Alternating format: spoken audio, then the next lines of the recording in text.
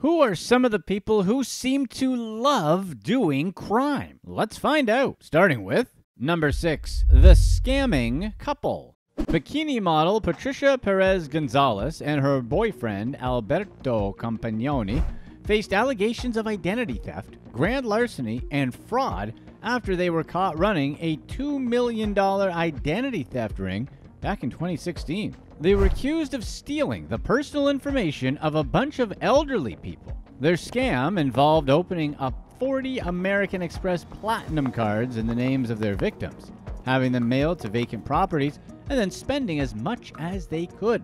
For a little over a year, the couple went bananas, charging up to $2 million in fraudulent transactions. Their lavish purchases included luxury vacations to New York, Los Angeles, and Hawaii, fine dining at expensive restaurants, and shopping sprees at renowned designer stores like Hermes, Burberry, Louis Vuitton, and Chanel. The couple, who looked rather unassuming in their beige colored prison garb, sat emotionless during their court proceedings. They were being held on $500,000 bail and pleaded not guilty. However, despite the amount of damage she caused, Patricia Perez Gonzalez received a pretty light sentence. As part of a plea deal, she copped to one count of fourth degree grand larceny and managed to avoid any jail time. The dental hygiene student, known for flaunting her extravagant lifestyle on social media, left Manhattan Supreme Court with a smile on her face. Her defense lawyer, probably noticing how bad that looked, tried to point out her positive transformation emphasizing her commitment to being a full time college student achieving high grades. Alberto Companioni, who took a deal too, didn't do as well. He pleaded guilty to grand larceny and identity theft and was sentenced to serve two to six years in prison. So, what do you think? Was it fair that Alberto got sentenced like he did while his girl was basically told that what she did wasn't nice and she needed to stop? Tell us in the comments below. Number 5. The Real Estate Guru.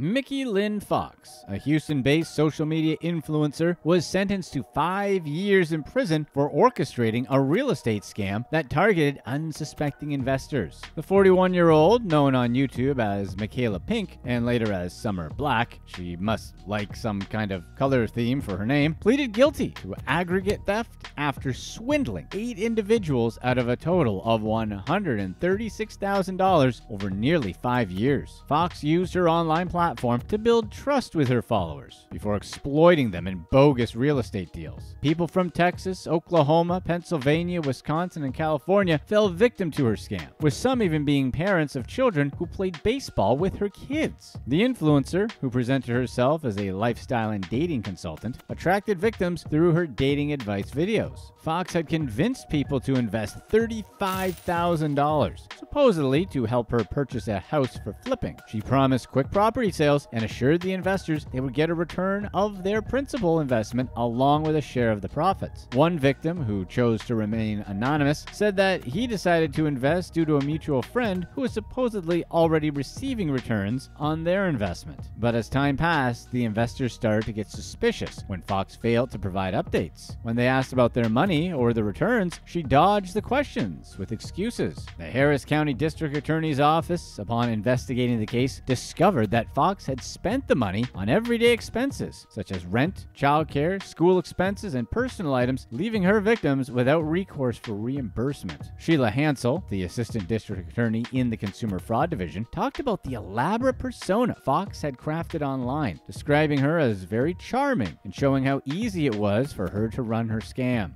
Catherine O'Connor, a forensic investigator, also detailed the range of expenditures that depleted the scammed funds. As Mikki Lynn Fox began her five year prison sentence, her victims were left with a mix of emotions. On one hand, they're glad justice was served, but on the other hand, they're still out the money she stole. It's dirty that she was scamming people she knew that were friends with her kids, but it does make it a little better that she was using the money mainly to pay bills. Like, it's terrible what she did, but at least she wasn't out just dumping money on Birkin bags or something. And since she's in prison, maybe she'll change her name to Mickey Orange. Number 4. The Special Forces Officer. Former British Special Forces serviceman David Apps left his elderly mother, Ann Bates, in financial ruin after a drunken gambling spree that drained nearly 12,000 pounds from her funds. Apps went on a 24 hour betting binge using his mother's credit card on Spreadex, a UK based sports betting site. The incident unfolded during Apps's one day stay at his mother's house. Under the influence of alcohol, he registered his mother's card on the betting platform, making 31 transactions totaling totaling 11,900 pounds. The consequences of Apps's actions were severe, forcing his elderly mother to sell her home and relocate to Australia to live with her daughter. Apps, currently serving as a director of special projects at the United Arab Emirates government, faced sentencing where the judge expressed bewilderment over Apps's decision to steal from his mother given his income. Apps, acknowledging the impact of drinking on his actions, pleaded guilty to fraud by representation. His mother, distressed by the revelation of of the gambling spree, sold her apartment and moved, citing financial vulnerability and an inability to cover her bills. During the court proceedings, Ann Bates said that she still loves her son, but was devastated by his actions, saying that she never gave him permission to take the money. She also talked about her financial struggles, saying that it made her unable to pay her bills and forced her to put her apartment up for sale and move to Australia. Apps's lawyer blamed the maxing out of his mother's credit cards on a gambling addiction. She pointed to Apps's genuine remorse and willingness to provide for his mother mother while acknowledging the burden he dumped on her. The judge deferred the final sentencing, but forced Apps to pay $1,500 per month directly to Ann Bates and also wanted him to prove repayment of the defrauded sums. Additionally, Apps was instructed to pay a significant amount to compensate for the psychological trauma inflicted upon his mother and to provide evidence of continued counseling. And he also was sent to bed with no dessert. You only get dessert when you don't steal from your mum, David.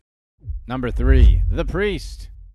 Father George Athanasiou, an assistant priest at All Saints Greek Orthodox Church in Canonsburg, Pennsylvania, was at the center of a scandal involving the theft of over $117,000 in parish funds. The priest was hit with 223 felony charges, including theft by unlawful taking, forgery, bad checks, and access device usage. We don't know what access device usage is, but Athanasiou did it, and he is in trouble for it. Athanasiou's criminal activities went went on for almost a year, with the priest accused of embezzling funds from the church's bank account. The whole thing came to light when the church leadership discovered missing checks that had been deposited into an unauthorized PNC bank account. The investigation pointed directly at Athanasiou, who was the only person with a PNC ATM card during the time in question. Apparently, Father Dowling was on the case. Extra credit for all five of you who got that reference. Athanasiou confessed to stealing the money due to personal hardships, and he acknowledged the criminal criminal nature of his actions, saying it was a blatant disregard of the trust placed in him as a church member. The consequences were swift for Athanasiou, who was immediately suspended without pay pending further investigation. Wait, priests get paid? We always thought they just kinda lived at the church or something. Well, anyway, the Greek Orthodox metropolis of Pittsburgh, in a letter to the church, expressed deep distress over the situation, urging prayers for all that were affected. Apparently, Athanasiou had a gambling addiction, and that was a contributing factor to the embezzlement. Athanasiou's attorney attorney, Patrick Thomassey, acknowledged his client's gambling problem noting that it was referenced in the statement given to the police. While details about where the priest was gambling or the nature of his betting isn't known, Thomassey said that Athanasiou planned to repay the church. The attorney said that a significant amount of money was already set aside for restitution and that the priest was committed to repaying every cent. The scandal hasn't only tarnished Athanasiou's reputation, but has also triggered legal actions. The Pennsylvania Attorney General's office has taken over the criminal case due to a potential conflict of interest involving lawyers at the Washington County District Attorney's Office who are members of the All Saints Church. Doesn't he kind of look like Nathan from South Park?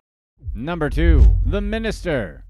Reverend Ivan Warwick played a pivotal role in scamming three elderly brothers out of 1.1 million pounds. Warwick, along with an accomplice, befriended the vulnerable siblings before conning them in a scheme that resulted in the loss of their family farm and savings. The McCullough brothers, Hugh, Roddy, and David, fell victim to Warwick and his partner Douglas Stewart, who manipulated them into granting power of attorney back in 2013. Exploiting the brothers' trust, the fraudsters convinced convince him to sign away their home and land for free. Unsurprisingly, the siblings, aged 84, 82, and 79 at the time, were all suffering from dementia. Despite the brothers seeking justice by reporting the incident to the police, law enforcement deemed it a civil matter, concluding that no crime had occurred. Warwick and Stewart then proceeded to evict the brothers from their farm and then sold the property. Because why wouldn't they do something like that? A civil court case initiated by the middle brother Roddy led to a judgment in October 2022. The ruling said that the brothers didn't comprehend the document relinquishing their farm and accused Warwick and Stewart of taking advantage of them through fraud or circumvention. So Warwick and Stewart were ordered to repay the ill-gotten gains, with Warwick owing 66,000 pounds and Stewart facing a larger sum of 691,000 pounds. Warwick, however, offered a small monthly repayment of 50 pounds, sparking outrage from the victim's cousin, Hugh Fraser, who called the proposal ludicrous,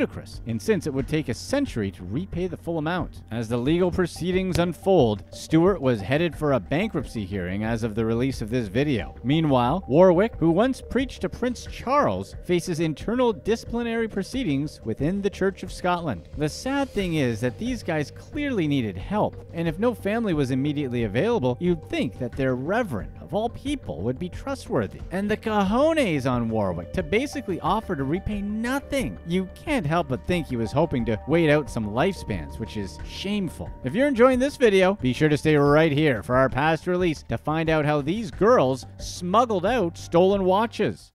Number 1. The Husband Stuart Williamson orchestrated an elaborate scheme to convince the family of his late partner, Diane Douglas, that she was alive for three years following her untimely passing at his hands. The disturbing situation blew up when family members grew suspicious and contacted the police, triggering a missing person investigation. Williamson, who portrayed himself as happily retired on social media, posted pictures of himself enjoying life, playing cricket and vacationing in tropical paradises. Unbeknownst to Douglas's family, this facade concealed a gruesome reality. In December of 2018, Williamson tragically ended Douglas's life, later burying her in their garden. The extent of the deception only became clear when the family discovered that Williamson hadn't only concealed Douglas's passing, but had also been siphoning her pension and disability benefits for three years. During this time, he manipulated her family members into believing that Douglas was alive by sending text messages from her mobile phone and arranging meetings and events, only to cancel them at the last minute. Williamson's actions went beyond financial exploitation. He played the role of a caring partner on the surface, while in reality, he used and exploited Douglas, who was diagnosed with Huntington's disease in 2007. Despite the relationship breaking down and a split in 2011, Douglas, facing significant mental impairment by 2016, found herself living with Williamson again. More disturbing details emerged when it was revealed that Williamson, a former NHS manager, was described by colleagues as a sociopath and a narcissistic demeanor in a history of predatory behavior towards women. Colleagues shared memories of times where he displayed contempt for patients, showing a total lack of compassion. Williamson's manipulation extended to covering up the brutal passing. He admitted to police that he must have picked up a log, but conveniently claimed to have no memory of the incident. He directed authorities to Douglas's body buried in the garden of their rented farmhouse. The extent of Williamson's financial exploitation also came to light when family members provided statements talking about the deception that allowed him to continue abusing Douglas's finances for three years. The whole thing is a tragic tale about a guy who continued his lie for years, leaving a grieving family to grapple with the unsettling truth. And despite the uncovering of his crimes, justice was never served, as Williamson evaded trial by taking his own life while on bail. What are some of the most daring robberies? Let's get right to it and start with number five. Watch this. Two Las Vegas women, Nikki Grandel and Stacy Johnson, targeted and robbed a man they met on the Caesars Palace casino floor. Grandel and Johnson were socializing with their victim when they convinced him to take them to his hotel room at Caesars Palace. But it wasn't long after they entered the room before he realized he was missing $6,500 and a Rolex watch. The man kept his valuable belongings in a small bag, and after discovering it was empty, he confronted the women. Grandel and Johnson did what anyone would do when wrongfully accused fled the room and ran into the stairwell. But the women couldn't move faster than the Las Vegas police. The victim immediately reported the theft, and officers tracked down Grandel and Johnson using the hotel's surveillance footage and the victim's description. Police arrested the pair moments later and charged them with grand larceny. Authorities had to conduct an extensive search to find the Rolex, resorting to an x ray examination where they discovered Grandel had placed the luxury watch inside her body to conceal it. And by body, you probably know what we mean the one only women have. Additionally, Johnson stuffed the cash inside her pants. Grandel and Johnson's actions might seem extreme, but they were far from the only people to conduct this type of criminal operation at a casino. Cassidy Rain Paris was at the Seminole Hard Rock Hotel and Casino in Hollywood, Florida, when she approached a man at the casino's elevators. After telling the man he seemed tired and stressed, she offered to go up to his room to give him a massage. The man accepted the offer, and the pair went to his room. During the massage, Paris ordered him to remove his clothing and kissed him. She suddenly developed chest pain and excused herself to go to the bathroom. Within minutes, the victim heard his room door close and discovered his belongings were missing. Paris stole a Patek Philippe watch worth $50,000, 10,000 bucks in cash, and $6,100 in poker chips. Paris's scheme was well thought out. After luring the man to his room, she used a diversionary tactic to distract him so she could rob him. Except she underestimated how easy it would be to track her down. Similarly to Grandel and Johnson, surveillance video captured Paris sprinting down the hall and driving away away in a red car. Police located the GPS tracker on the red car she used to flee the scene. They apprehended Paris four miles east of the casino at a Days Inn motel and charged her with a second degree felony for theft. So wait, we can't just trust any random women we meet named Nikki, Stacy, or Cassidy? Number 4. Gourley's 5.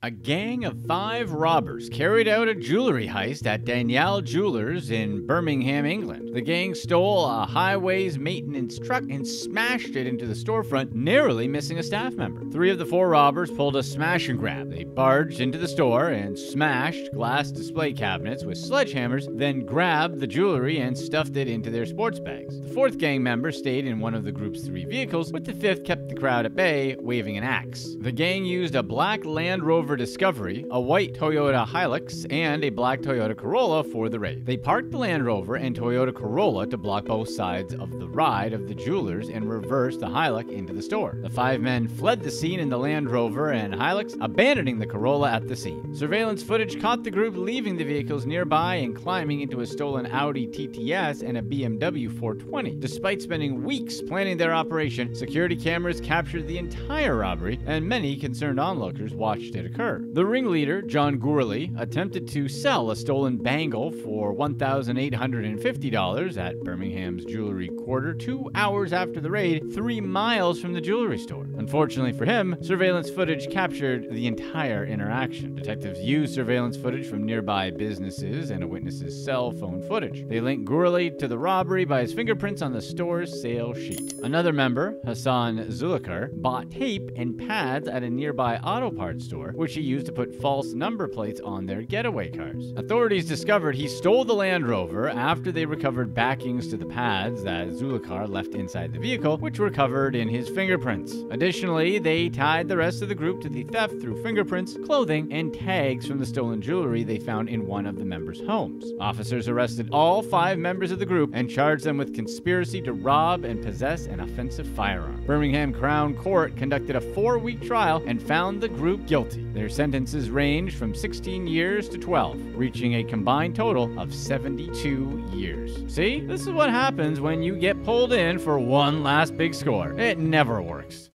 Number 3. King Crab. David Sabile is accused of conning seafood distributors out of hundreds of thousands of dollars. Allegedly, Sabile pretended to work at a grocery store and created fake email accounts to make it seem like they belonged to multiple Safeway grocery store employees. He used the accounts to deceive Arctic Foods, a San Francisco seafood distributor, out of $700,000.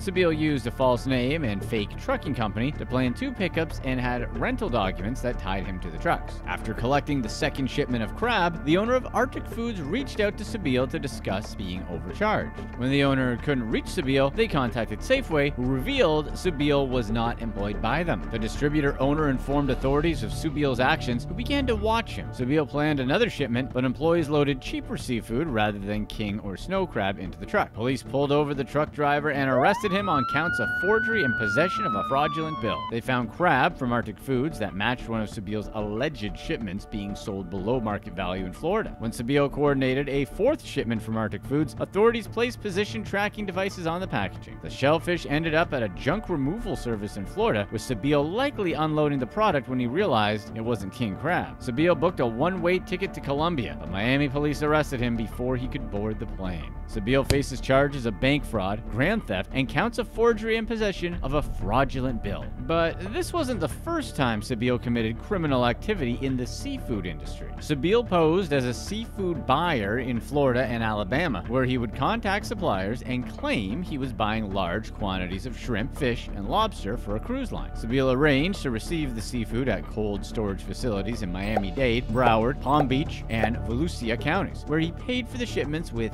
counterfeit checks. He also didn't pay a line of credit extended to him on at least one occasion. Law enforcement caught Sabile attempting to buy $60,000 of shrimp from a seafood wholesaler. He was allegedly responsible for $200,000 in losses to seafood businesses in Florida and Alabama, and for this scheme, charged with bank fraud and grand theft. Number 2. Romanian skimming.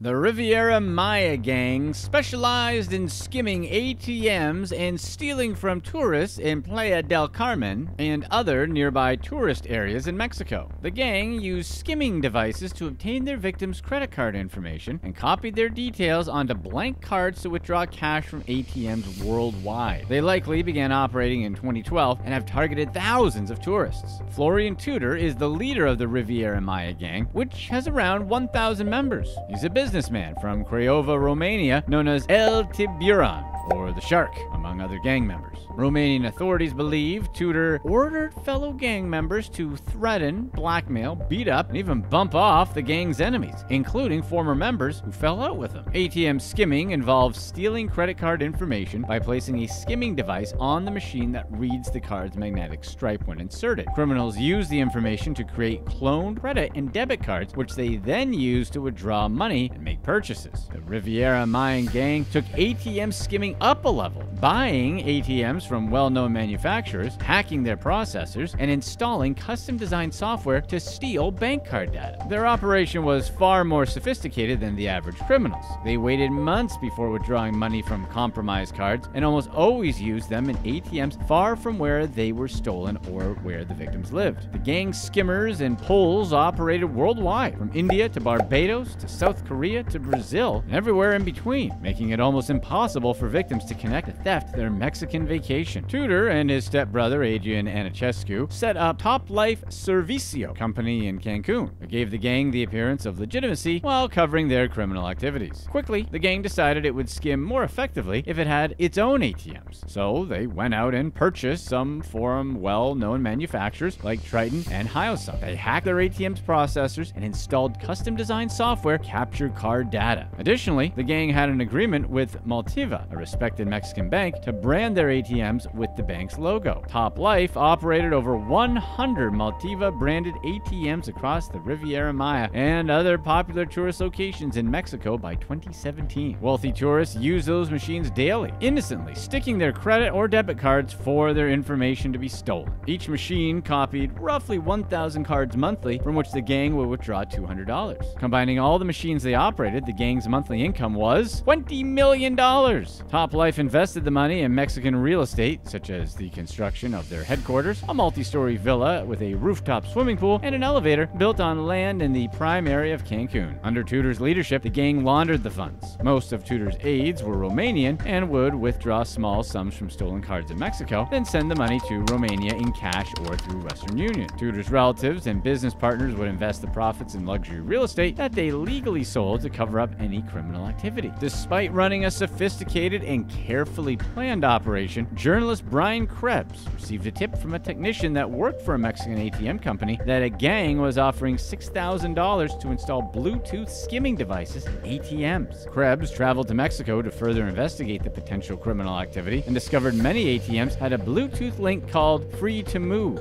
His trip prompted Krebs to write a three part story on his blog about ATM skimming, where he mentioned an Eastern European gang was behind the scam. Tudor was furious and ordered members to temporarily extract chips from 10 ATMs they owned and 25 to 30 ATMs belonging to other companies or banks. Mexican police never followed up on the revelations in Krebs' articles, but the gang temporarily shut down their operations anyway. Although the gang avoided criminal charges, Tudor was beginning to unravel. His relationship with one of his most trusted men, Constantine Sorinel Marcu, deteriorated. Tudor was envious of Marcu's relationships with women, and Marcu wanted a higher cut than he was getting from the business. After a heated exchange over WhatsApp in May 2015, Tudor instructed all gang members to cut ties with Marcu. In April 2018, three gang members attacked Marcu. Two months later, Marcu passed away. Not only did his passing unleash a war with Marcu's family and allies, but it put the Riviera Maya gang on law enforcement's radar. In May 2021, Mexican authorities arrested Tudor following years of investigations by Mexican and Romanian authorities. His arrest was in response to an extradition request from Romania, where he could face charges of organized crime, extortion, and attempted murder.